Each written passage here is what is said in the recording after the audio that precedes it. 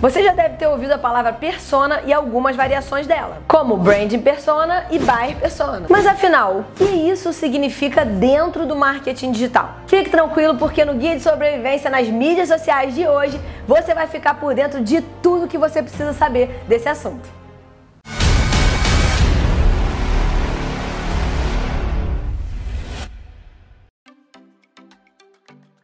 Bem-vindo ao QG do Guia de Sobrevivência MLab. E eu já vou te explicar tudo sobre persona, mas antes eu vou pedir para você se inscrever no canal, ativar o sininho, deixar aquele like e também a sua sugestão de conteúdo, mas vamos ao que interessa. No vídeo de hoje a gente vai falar muito sobre buyer e brand persona. Mas primeiro, meu amigo Aurélio vai contar pra gente a definição da palavra persona.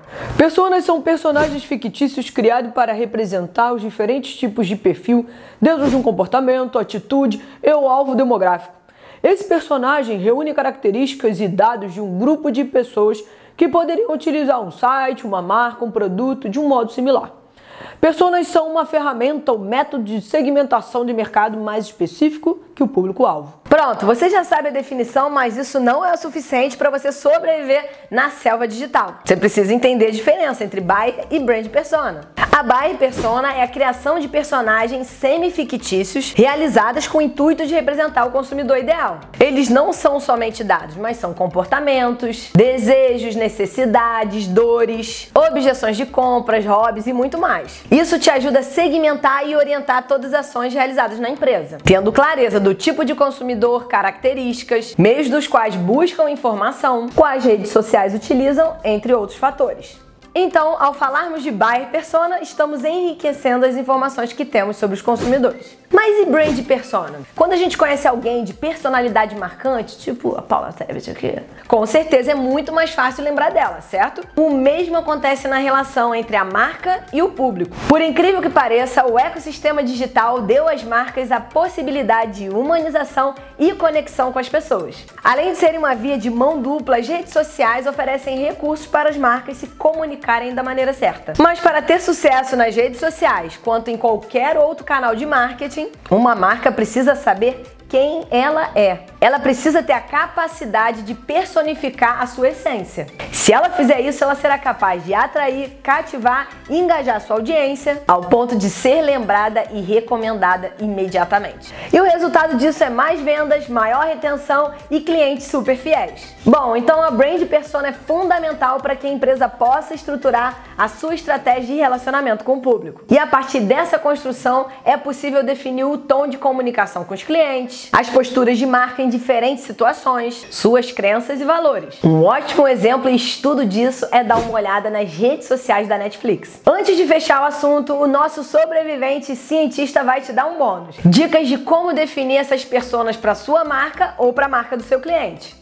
Bem-vindo ao meu laboratório. Se você quer sobreviver ao mundo digital, vai precisar criar fórmulas e antídotos para se destacar e fugir de predadores. Hoje eu vou te ensinar duas dinâmicas de como definir uma brand e uma buyer persona. Primeiro, você precisa imaginar a marca como uma pessoa real e, baseado nos valores e objetivos dela, responder algumas perguntas.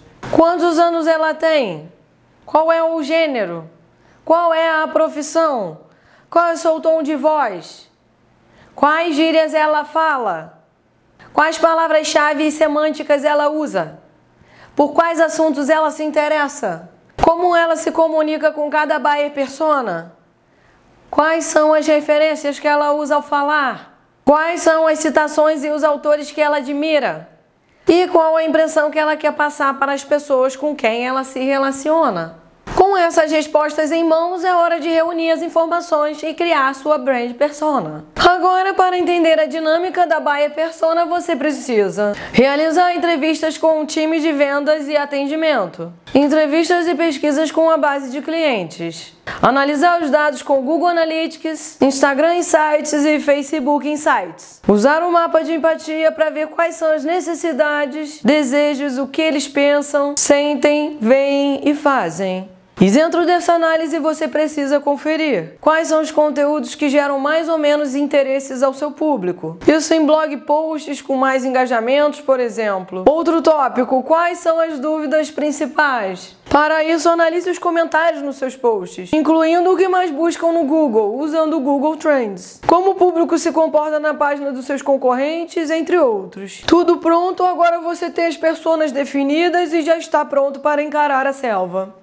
Você deve estar se perguntando, ok, mas por que trabalhar com buyer persona ao invés de simplesmente a definição de público-alvo? E a resposta é simples. O conceito de persona veio para agregar a ideia tradicional de público-alvo e marketing. Enquanto o público-alvo se refere às características gerais das pessoas que consomem o produto, servindo mais para segmentação de mídia e tráfego pago. Personas são representações completas do público ideal da marca. Elas são ricas em detalhes, trazem dores dos clientes em potencial. E justamente por isso elas são essenciais para a criação de conteúdos e ações mais relevantes. E aí?